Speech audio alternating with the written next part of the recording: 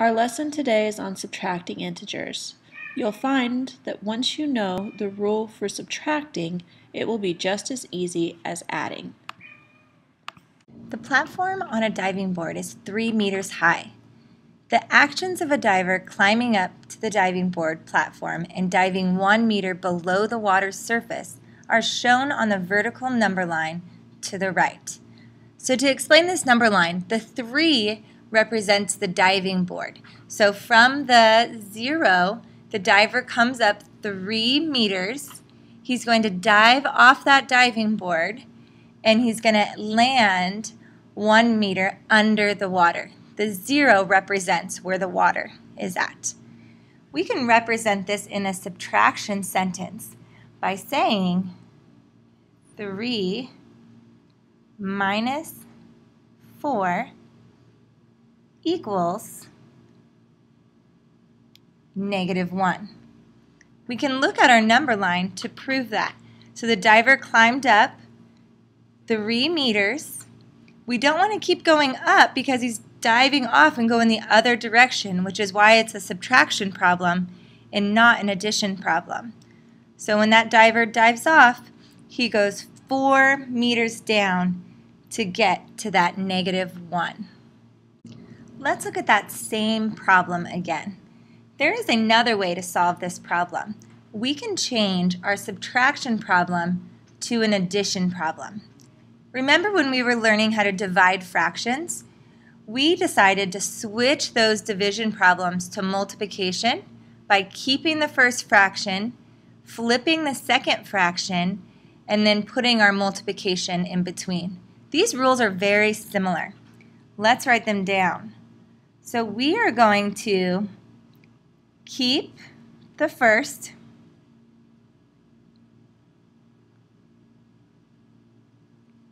So keep the first. And then we are going to change the second. So we're changing the second number.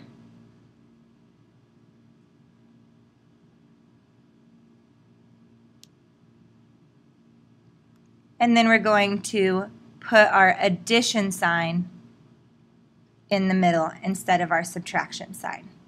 So we're going to keep the first number, change the second number, and then we will switch the subtraction sign to an addition sign.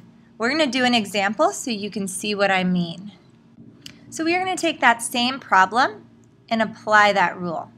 So I have 3 minus 4 equals negative 1. That is what we saw in our vertical number line. Okay, we are going to apply that rule. So we are going to keep the first number. We're going to change the second number. Notice right now that that is a positive 4. It's positive 3 subtract positive 4. We are going to write the opposite of positive 4. The opposite of positive 4 is negative 4. So basically, if the number was positive before, we change it to a negative. If it was negative, we're going to switch it to a positive. Our last step said that we needed to switch the subtraction sign to an addition sign. So we just rewrote our subtraction problem of 3 minus 4 equals negative 1 to 3 plus negative 4. And let's just check on our number line and make sure that these do equal the same thing. So I'm going to make a horizontal number line. Let's start at 0.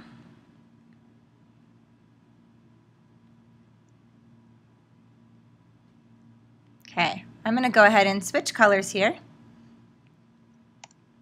So starting at 0, we are going to jump to R3.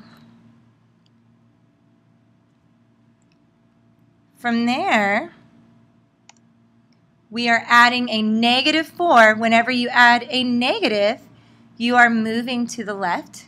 So I'm going to go this way, 4 spaces. So notice I was here I went one, two, three, four spaces, and this is going to be my final answer. So 3 plus negative 4 equals negative 1. Let's try another problem using that rule. Let's try 2 subtract negative 1. Okay, so using our rule, it says keep the first number the same. So I'm going to keep my positive 2 a positive 2. I'm going to change my second number. Notice my second number is a negative 1. Since it's a negative 1, the opposite of negative 1 is positive 1. Instead of our subtraction sign, we are now going to have an addition sign. So now I'm just left with positive 2 plus positive 1, which this one's easy, just equals positive 3. Now let's look at why that works. Let's take a second and see why that rule works. If I had negative 1 minus 3, let's just try that on a number line really quick. Negative 1 minus 3.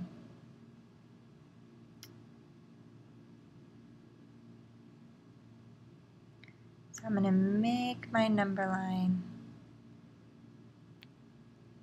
Switch colors here, and I'm going to start at the 0 and go to my negative 1. So there is my starting point, negative 1.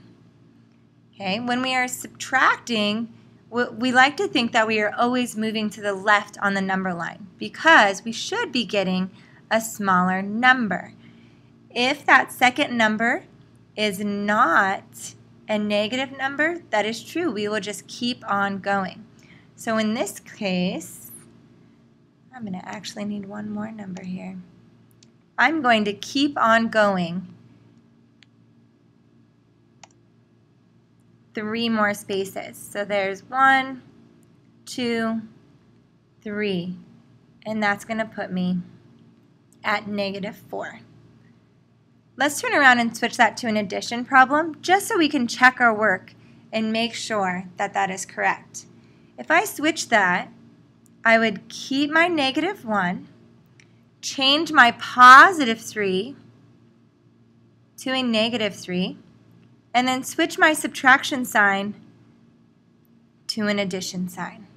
I could either do this on the number line, or I could also just use my rule and I could see that I have the same sign, so I just add straight across, and I keep my sign. So this equals negative 4, and this also equals negative 4. A way I like to remember the rule is I like to say keep, change, change, just like we did with the fractions. Or you can also say add the opposite. So you always know you keep the first one the same, and then you add the opposite of the second number. Let's try another example just to prove that that addition rule will work. Let's try positive 2 subtract a negative 1. Okay, I'm going to make a number line here. So I have a 0, put some positive numbers on here, and let's also put some negative numbers on here.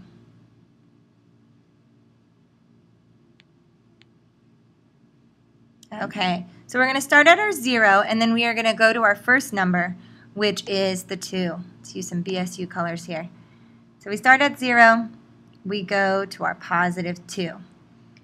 Typically, we would be going to the left because it's a subtraction. But like I said on the other one, whenever the second number is a negative, we actually have to switch directions.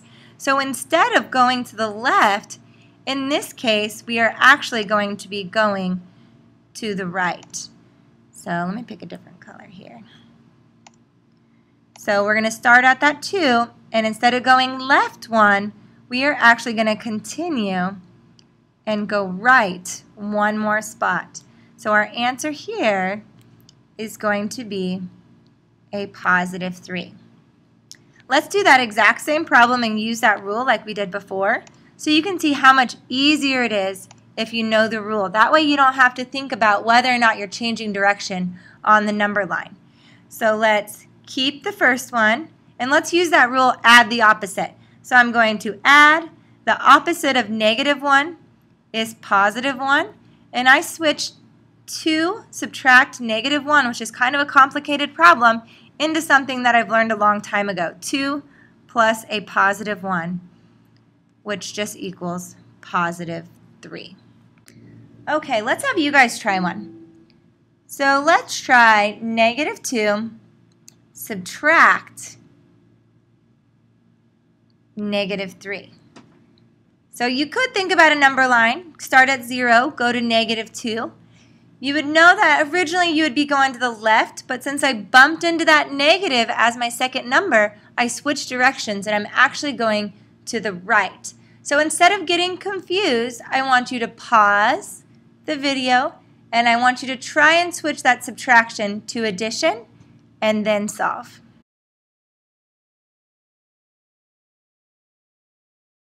Now that you pause the video and you have your final answer, let's check our work. So let's keep the first number. We could say keep and then add the opposite, or we can say keep, change, change. So I'm going to change that to an addition sign. The opposite of negative 3 is positive 3. Remember, if it was, once was negative, it's now positive. If it was positive, it's now going to be negative. From here, we can either use our number line to solve this problem, or we can use the rules that we learned to solve this problem. Let's use our rules in this case. So I have a negative 2 plus 3. I have two different signs, so what I'm really doing is I am subtracting 3 minus 2. Notice that I use both whole numbers. I am using their absolute value. The absolute value means how far is that number from 0. Absolute value is always positive because you always measure distance in a positive number. You never me measure distance in a negative number. So 3, the absolute value of 3 is just 3. The absolute value of negative 2 is just 2 because it is two spaces away from 0. So I'm going to take that 3 minus 2 and get my 1. From there, I can just look and see what my sign is going to be. I want to look and see which one has the bigger absolute value. So which one is further away from 0? Is negative 2 further away from 0 or is positive 3? In this case, the positive 3 is further away from 0. So our answer is just that positive 1. I also like to think of it as covering up their sign. So if it has a negative sign, cover them up, see which one's bigger, and then use that sign. What really makes the keep, change, add possible in subtraction is that we are adding the additive inverse. You've already looked at the additive inverse a little bit when we were adding our integers. The additive inverse is a property that says that negative 5 plus 5 equals 0. Or in other words, any negative number, a, plus the opposite of that number, positive a, is going to equal 0. So our additive inverse is basically summing up that our opposites are going to equal 0.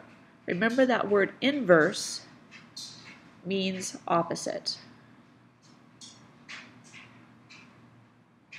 When we are adding the opposite, as we saw in our previous examples, we're starting with a subtraction problem.